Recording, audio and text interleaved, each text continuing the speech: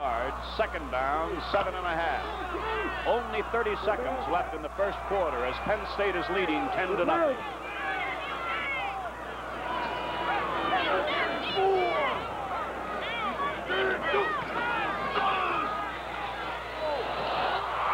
This is going to be a Kentucky touchdown by Dallas Owens. It was intended for Cefalo, and Fusina's first interception of the season goes for a touchdown, and we have a close ball game. Well, Ray, that was a bad play all the way. Uh, Jim, uh, Fusina sprinted out to his right, saw Cefalo in a flat, but so did Owens. And he didn't see Owens coming up real fast, played the ball out, Owens took it in for the touchdown. We got a ball game ahead of us. So just like that, it is 10 to 6.